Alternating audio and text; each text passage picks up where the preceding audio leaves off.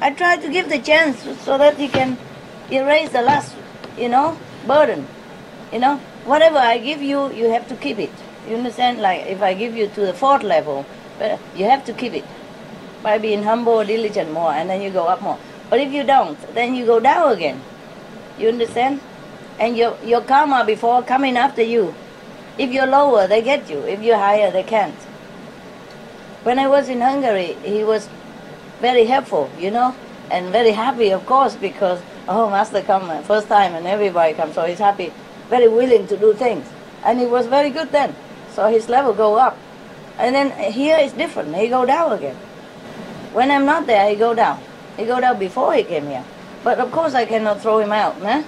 So the scolding and all that, just cleaning, huh? So don't you ever try to side with him again because you'll be in trouble. Yeah? You don't even know it. I'm warning you, okay?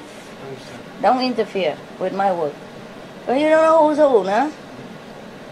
I can even take a devil and bring it up to the fifth level. That's for me easy. But for that devil to keep the fifth level is not. You understand me? I can give you anything you want. It's just that you can't keep it. You see so many like millionaire uh, children, after the father died, he squandered a lot, of, all this money and then become beggar even. Worse than off than before, have debt, go to jail. This is the same thing with heaven work, yeah? Just don't keep asking me why couldn't we go higher, higher. I could, but you don't keep. Because your personality don't fit your brain, your karma. You just keep going back to the level before. Habit. The habit of the karma pulling. And if you slip, and then you go down. Huh? Uh, very difficult huh? to keep a sainthood. Take many years of training, unless you came from there.